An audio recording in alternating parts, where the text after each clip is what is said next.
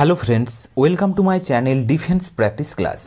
Defence practice class চ্যানেলের তরফ থেকে তোমাদের সবাইকে স্বাগত। তো ফ্রেন্ডস, আজকের ভিডিওতে আমরা কিছু গুরুত্বপূর্ণ প্রশ্ন নিয়ে আলোচনা করব। যে প্রশ্নগুলোর সাথে সাথে আমরা কিছু এক্সট্রা ফ্যাক্টও আলোচনা করব, যেগুলো তোমাদের আপকামিং যে সমস্ত এক্সাম রয়েছে, যেমন ওয়েস্ট বেঙ্গল পুলিশ কনস্টেবল রয়েছে, কলকাতা পুলিশ কনস্টেবল তাছাড়াও এসএসসি জিডি আপকামিং যে সমস্ত এক্সাম রয়েছে, সমস্ত এক্সামের জন্য খুবই গুরুত্বপূর্ণ হতে চলেছে আজকের এই ভিডিওটি। তো ফ্রেন্ডস ভিডিওটি তোমরা প্রথম থেকে শেষ পর্যন্ত দেখো এবং ভিডিওর শেষে একটি প্রশ্ন রাখব, সেই প্রশ্নের উত্তরও তোমরা নিচে কমেন্ট করে জানাবে। ওকে তো চলো শুরু করা যাক আজকের এই ভিডিওর ফার্স্ট প্রশ্ন।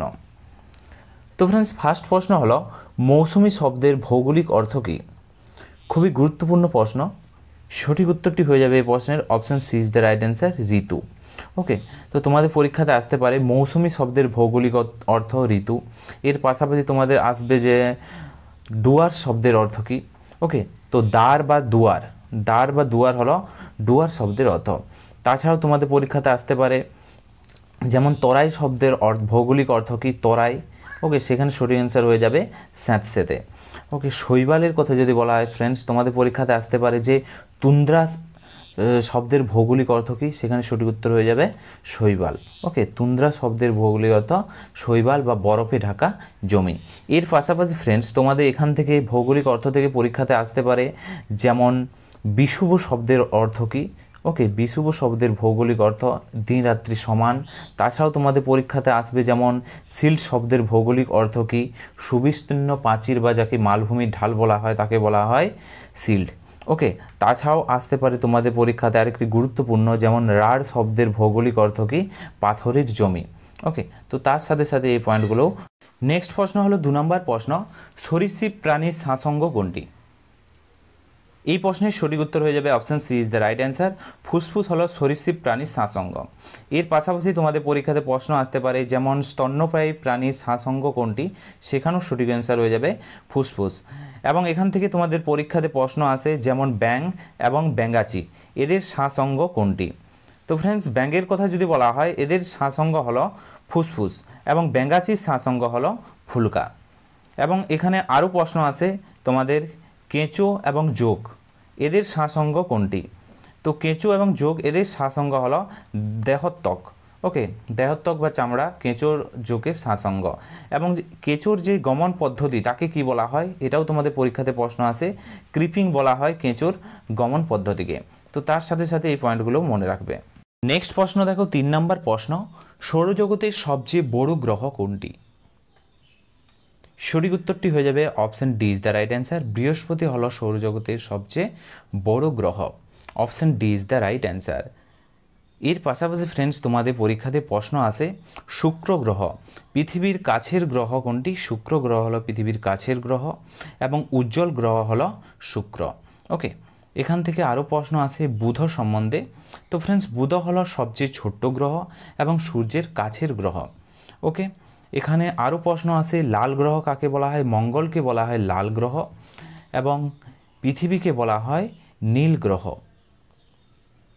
নেক্সট প্রশ্ন দেখো, চার নম্বর প্রশ্ন। নিম্নলিখিত তরল ধাতুর নাম কি? এখানে সঠিক উত্তরটি হয়ে যাবে option C is the right answer পারদ হল তরল ধাতু। Option C is the right answer এর পাশাপাশি তোমাদের পরীক্ষাতে প্রশ্ন আসতে পারে, তরল অধাতুর কথা। তরল অধাতু হল ব্রোমিন। ওকে তো ব্রোমিন হলো তরল অধাতু। এর পাশাপাশি তোমাদের পরীক্ষাতে প্রশ্ন আসতে পারে, কঠিন অধাতু কোনগুলি? তো কার্বন, আয়োডিন, এগুলি হচ্ছে কঠিন অধাতু। ওকে তো ক্ষার ধাতুর কথা যদি বলা হয় ফ্রেন্ডস তোমাদের পরীক্ষাতে, ক্ষার ধাতু লিথিয়াম সোডিয়াম পটাশিয়াম এগুলি বা সিজিয়াম এগুলি হচ্ছে ক্ষার ধাতু। ওকে এবং মুদ্রা ধাতুর কথা যদি বলা হয় কপার সিলভার গোল্ড এগুলি সবই হচ্ছে মুদ্রা ধাতু। এবং নিষ্ক্রিয় মৌলের কথা যদি বলা হয় helium neon argon krypton radon xenon এগুলি সবই হচ্ছে নিষ্ক্রিয় মৌল। নেক্সট প্রশ্ন হলো পাঁচ নম্বর প্রশ্ন, নাখোদা মসজিদ কোথায় অবস্থিত? তো ফ্রেন্ডস তোমাদের পরীক্ষাতে মন্দির এবং মসজিদ থেকে প্রশ্ন আসে তো তোমরা যদি কমেন্ট করে জানাও, আমি একটি মন্দির এবং মসজিদের ফুল ভিডিও বানিয়ে দেবো। নিচে অবশ্যই কমেন্ট বক্সে কমেন্ট করে জানাবে। এখানে সঠিক উত্তরটি হয়ে যাবে option D is the right answer, কলকাতাতে অবস্থিত নাখোদা মসজিদ। এর পাশাপাশি তোমাদের পরীক্ষাতে প্রশ্ন আসতে পারে, আগ্রাতে কি রয়েছে? কোন মসজিদ রয়েছে? তো ফ্রেন্ডস আগ্রাতে রয়েছে, মতি মসজিদ রয়েছে আগ্রাতে। ওকে? এবং মান্ডুতে কোন মসজিদ রয়েছে ফ্রেন্ডস মধ্যপ্রদেশের মান্ডুতে রয়েছে জুম্মা মসজিদ। ওকে? এবং মালদার পান্ডুয়াতে রয়েছে ফ্রেন্ডস আদিনা মসজিদ। খুবই গুরুত্বপূর্ণ, এগুলি তোমরা নোট করে রাখতে পারো।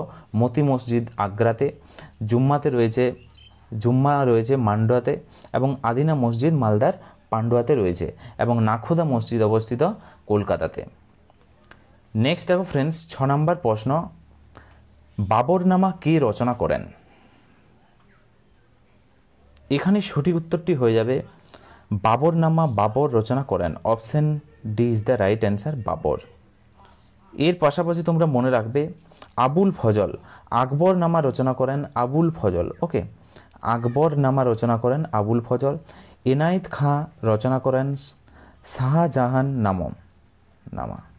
গুলবদন বেগম রচনা করেন হুমায়ুন নামা। নেক্সট প্রশ্ন হলো সাত নম্বর প্রশ্ন তুঘলকনামা কে রচনা করেন? এই প্রশ্নের সঠিক উত্তরটি হয়ে যাবে option A is the right answer Amir Khusrau Tughluqnama রচনা করেছিলেন। এর পাশাপাশি তোমাদের পরীক্ষাতে আসতে পারে ফ্রেন্ডস যেমন ইবন বতুতা। ইবন বতুতা কি রচনা করেন? সফরনামা। সফরনামা রচনা করেন। জাহাঙ্গীর রচনা করেছিলেন তুজুকি জাহাঙ্গীর বা যাকে জাহাঙ্গীর নামা বলা হয়। ওকে মির্জা মির্জা মোহাম্মদ কাজির। তার রচনা হলো আলমগীর নামা ওকে আলমগীর নামা এর পাশাপাশি তোমাদের এখান থেকে আরেকটি প্রশ্ন আছে, যেমন বাদশাহ নামা কে রচনা করেন। নিচে কমেন্ট করে জানাও, আব্দুল হামিদ লাহুরি বাদশাহ নামা রচনা করেছিলেন। নেক্সট হলো আট নম্বর প্রশ্ন, পলাশির যুদ্ধ কোন বছর সংগঠিত হয়? এই প্রশ্নের সঠিক উত্তরটি হয়ে যাবে, পলাশির যুদ্ধ হয় সতেরোশো সাতান্ন খ্রিস্টাব্দে। Option D is the right answer এখান থেকে ফ্রেন্ডস তোমরা মনে রাখবে, এই যুদ্ধে বাংলার নবাব সিরাজউদ্দৌলা ও ইংরেজদের মধ্যে সংগঠিত হয়েছিল এই যুদ্ধ, পলাশির যুদ্ধ। এই পলাশির যুদ্ধে ইংরেজ সেনার নেতৃত্ব কে দিয়েছিল? রবার্ট ক্লাইভ দিয়েছিল। ওকে এবং পলাশির যুদ্ধে সিরাজউদ্দৌলার হার হয় এবং এই হারের মুখ্য কারণ কী ছিল? মুখ্য কারণ ছিল সিরাজউদ্দৌলার সেনাপতি মির্জাপুরের বিশ্বাসঘাতকতা। হলো ন নম্বর প্রশ্ন, মধ্যপ্রদেশ রাজ্যের একমাত্র শৈল শহর কোনটি? এই প্রশ্নের সঠিক উত্তরটি হয়ে যাবে option B is the right answer. Pachmarhi হল, মধ্যপ্রদেশ রাজ্যের একমাত্র শৈল শহর। এখান থেকে তোমাদের পরীক্ষাতে প্রশ্ন আসে যেমন শিলং শৈল শহরটি, এটা কোথায় অবস্থিত? সঠিক উত্তর হয়ে যাবে মেঘালয়ে অবস্থিত। মাউন্ট আবু এই শৈল শহরটি কোথায় অবস্থিত? সঠিক উত্তর হয়ে যাবে রাজস্থানে অবস্থিত। ওকে, এবং দার্জিলিং শৈল শহরটি, এটি হচ্ছে পশ্চিমবঙ্গে অবস্থিত। তো তোমাদের পরীক্ষাতে শৈল শহর সম্বন্ধেও পরীক্ষাতে প্রশ্ন আছে। নেক্সট প্রশ্ন দেখো, দশ নম্বর প্রশ্ন। লবণ উৎপাদনে ভারতবর্ষের কোন রাজ্য প্রথম স্থানে রয়েছে ফ্রেন্ডস তো টাইপিং মিস্টেক আছে। তো ভারতবর্ষের হবে এখানে। ভারতবর্ষের কোন রাজ্য প্রথম স্থানে রয়েছে লবণ উৎপাদনে?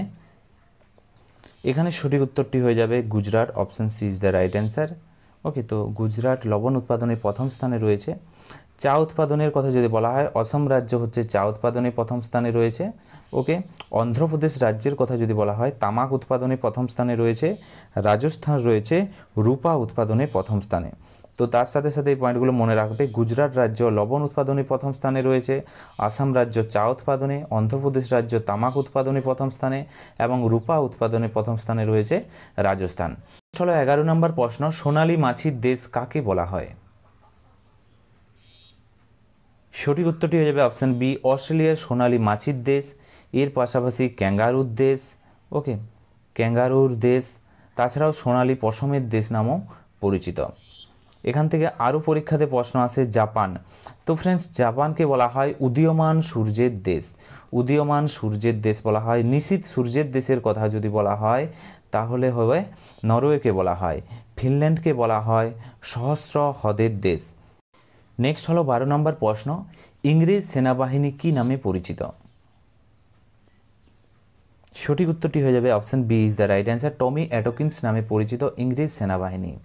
এখান থেকে আরও প্রশ্ন আসে ইংরেজ সেনাবাহিনী ছাড়াও ইংরেজ নাগরিক কী নামে পরিচিত? জন বুল নামে পরিচিত ইংরেজ নাগরিক। ওকে? জিআইয়ের কথা যদি বলা হয়, আমেরিকান যে সৈন্য তাদেরই বলা হয় জিআই এবং পুলুর কথা যদি বলা হয়, ফরাসি সৈন্যকে বলা হয় পুলু। তো তার সাথে সাথে এই পয়েন্টগুলো মনে রাখবে। নেক্সট হচ্ছে চোদ্দ নম্বর প্রশ্ন, পৃথিবীর উচ্চতম হ্রদ কোনটি? তো ফ্রেন্ডস পৃথিবীর উচ্চতম হ্রদ, আরেকটি প্রশ্ন আছে, পৃথিবীর গভীরতম হ্রদ। ওকে? তো উচ্চতম হ্রদের কথা যদি বলা হয়, সঠিক উত্তর হয়ে যাবে option B is the right answer Titicaca হলো পৃথিবীর উচ্চতম হ্রদ ওকে এবং পৃথিবীর গভীরতম হ্রদের কথা যদি বলা হয়, বৈকাল হ্রদ হলো পৃথিবীর গভীরতম হ্রদ, এবং এটি কোথায় অবস্থিত? সাইবেরিয়াতে অবস্থিত। এবং উচ্চতম হ্রদ এই টিটিকাকা এটি কোথায় অবস্থিত? তোমাদের পরীক্ষাতে আসতে পারে। উচ্চতম হ্রদ টিটিকাকা এটি বলিভিয়াতে অবস্থিত। আরেকটি এখান থেকে প্রশ্ন আছে, পৃথিবীর বৃহত্তম নোনা জলের হ্রদ। নোনা জলের হ্রদ, সেখানে সঠিক অ্যান্সার হয়ে যাবে কাস্পিয়ান সাগর। নেক্সট হলো চোদ্দ নম্বর প্রশ্ন, ভারত শ্রীলঙ্কাকে কোন উপসাগর বিচ্ছিন্ন করেছে? ভারত ও শ্রীলঙ্কাকে কোন উপসাগর বিচ্ছিন্ন করেছে? আরেকটি প্রশ্ন আছে, কোন প্রণালী? ভারত ও শ্রীলঙ্কার মধ্যে কোন প্রণালী অবস্থিত? তো উপসাগরের কথা যদি বলা হয় ফ্রেন্ডস সেখানে সঠিক উত্তর হয়ে যাবে মান্নার উপসাগর। Option B is the right answer এবং কোন প্রণালীর কথা যদি বলা হয়, বিচ্ছিন্ন করেছে, সঠিক উত্তর হবে তখন পক প্রণালী। ওকে এখান থেকে আরও প্রশ্ন আছে শ্রীলঙ্কা সম্বন্ধে। শ্রীলঙ্কা সম্বন্ধে তোমাদের ফ্রেন্ডস আরও প্রশ্ন আছে যে শ্রীলঙ্কার জাতীয় ভাষা কি? সিংহলি হল শ্রীলঙ্কার জাতীয় ভাষা। শ্রীলঙ্কার দীর্ঘতম নদীর নাম কি? দীর্ঘতম নদী হচ্ছে ফ্রেন্ডস মহাবলী গঙ্গা। ওকে এবং জাতীয় পাখি কি শ্রীলঙ্কার? বন মোরগ হচ্ছে শ্রীলঙ্কার জাতীয় পাখি। এবং শ্রীলঙ্কার সর্বোচ্চ পর্বতশৃঙ্গ, এটাও পরীক্ষাতে আসে তখন সঠিক উত্তর হয়ে যাবে, পিদুর তালাগালা হচ্ছে শ্রীলঙ্কার সর্বোচ্চ শৃঙ্গ। ওকে নেক্সট দেখো, পনেরো নম্বর প্রশ্ন, নিম্নলিখিত আদি কবি নামে কে পরিচিত? তো তোমাদের পরীক্ষাতে প্রশ্ন আসে আদি কবি নামে কে পরিচিত? বিশ্বকবি কে নামে পরিচিত? চারণ কবি কে নামে পরিচিত? তো এই সম্বন্ধে পরীক্ষাতে প্রশ্ন আসে তোমরা যদি কমেন্টে, বক্সে কমেন্ট করে জানাও, আমি একটি স্পেশাল ভিডিও তোমাদের জন্য বানিয়ে দেবো। তো এখানে সঠিক উত্তর হয়ে যাবে, আদি কবি Valmiki. Option D is the right answer এর পাশাপাশি কালিদাসের কথা যদি বলা হয় ফ্রেন্ডস মহাকবি নামে পরিচিত হচ্ছে কালিদাস। মুকুন্দ দাসের কথা যদি বলা হয় চারণ কবি নামে পরিচিত। রবীন্দ্রনাথ ঠাকুর ফ্রেন্ডস বিশ্বকবি বা কবিগুরু নামে পরিচিত। নেক্সট আবার ষোলো নম্বর প্রশ্ন, পাণ্ডব গোয়েন্দা চরিত্রের ষষ্ঠাকে এখানে সঠিক উত্তর হয়ে যাবে ষষ্ঠীপদ চট্টোপাধ্যায়, পাণ্ডব গোয়েন্দা চরিত্রের ষষ্ঠা option D is the right answer next দেখো সতেরো নম্বর প্রশ্ন, কলিঙ্গ লিপি থেকে কোন ব্যক্তির বিষয়ে জানা যায়? সঠিক উত্তরটি হয়ে যাবে অপশান এ, সম্রাট অশোক। তার সম্বন্ধে জানা যায় এই কলিঙ্গ লিপি থেকে option A is the right answer. এর পাশাপাশি ফ্রেন্ডস তোমরা মনে রাখবে, প্রথম রাজেন্দ্র চোল, তার সম্বন্ধে জানা যায় তাঞ্জোর লিপি থেকে। স্কন্দগুপ্ত সম্বন্ধে জানা যায় ভিত্রি লিপি থেকে। এবং কনিষ্কের সম্বন্ধে জানা যায় ফ্রেন্ড সম্পদ লিপি থেকে। ওকে, তো তার সাথে সাথে এই পয়েন্টগুলো মনে রাখবে। নেক্সট হচ্ছে আঠেরো নম্বর প্রশ্ন, আর্য সমাজ কে প্রতিষ্ঠা করেন? সঠিক উত্তর হয়ে যাবে এই প্রশ্নের। Option C is the right answer Swami Dayananda Saraswati. আঠারোশো পঁচাত্তর খ্রিস্টাব্দে আর্য সমাজ প্রতিষ্ঠা করেন এবং এটি কোথায় প্রতিষ্ঠা করেন? বোম্বেতে প্রতিষ্ঠা করেন। তো তোমাদের পরীক্ষাতে সালটিও আছে, আঠারোশো পঁচাত্তর খ্রিস্টাব্দে বোম্বেতে দয়ানন্দ সরস্বতী আর্য সমাজ প্রতিষ্ঠা করেন। ওকে এর পাশাপাশি এখানে আরও প্রশ্ন আছে, রাজা রামমোহন রায়। তো ফ্রেন্ডস রাজা রামমোহন রায়, তিনি আত্মীয় সভা এবং ব্রাহ্ম সমাজ প্রতিষ্ঠা করেন। ওকে তো আত্মীয় সভা ও ব্রাহ্ম সমাজ প্রতিষ্ঠা করেন রাজা রামমোহন রায় কলকাতাতে। ওকে এবং এখানে আরও প্রশ্ন আছে, যেমন প্রার্থনা সমাজ কে প্রতিষ্ঠা করেন? আত্মারাম পাণ্ডুরঙ্গ প্রার্থনা সমাজ প্রতিষ্ঠা করেন আঠারোশো সাতষট্টি খ্রিস্টাব্দে বোম্বেতে। তো তার সাথে সাথে পয়েন্টগুলো মনে রাখবে এবং জ্যোতিবা ফুলের কথা যদি বলা হয়, জ্যোতিবা ফুলে মহারাষ্ট্রে সত্যাশোধক সমাজ প্রতিষ্ঠা করেন আঠারোশো তিয়াত্তর খ্রিস্টাব্দে মহারাষ্ট্রে। ওকে? নেক্সট দেখো ফ্রেন্ডস উনিশ নম্বর প্রশ্ন, পেইরি তৃণভূমি কোথায় দেখা যায়?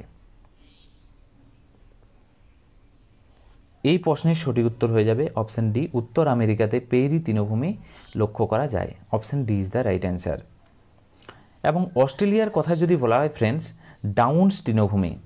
লক্ষ্য করা যায়, দক্ষিণ আফ্রিকা থেকে দেখা যায় ভেল্ড তৃণভূমি। দক্ষিণ আমেরিকা থেকে দেখা যায় পম্পাস তৃণভূমি। তো তার সাথে সাথে এই পয়েন্টগুলো মনে রাখবে, তোমাদের পরীক্ষাতে তৃণভূমি সম্বন্ধে প্রশ্ন আসে নেক্সট প্রশ্ন দেখো, কুড়ি নম্বর প্রশ্ন। নিম্নলিখিত ডাল হ্রদ কোন রাজ্যে অবস্থিত?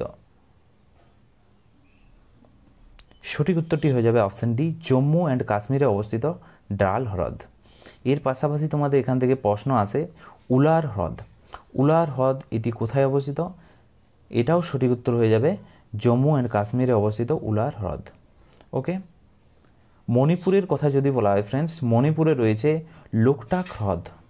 ওকে সিকিমে রয়েছে ফ্রেন্ডস ছো লামু হ্রদ। এবং উড়িষ্যাতে রয়েছে চিল্কা হ্রদ। তো তার সাথে সাথে এই পয়েন্টগুলো মনে রাখবে এবং নিচে তোমরা কমেন্ট বক্সে তোমরা কমেন্ট করে জানাও, পুষ্কর হ্রদ, এটি কোন রাজ্যে অবস্থিত? তোমরা নিচে কমেন্ট বক্সে কমেন্ট করে জানাও। তো ফ্রেন্ডস এগুলিই ছিল আজকের ভিডিওর আমাদের কিছু গুরুত্বপূর্ণ প্রশ্ন। যে প্রশ্নগুলো তোমাদের আপকামিং এক্সামের জন্য খুবই গুরুত্বপূর্ণ। ওকে তো আজকের ভিডিওটি আমরা এখানেই শেষ করছি। Thank you for watching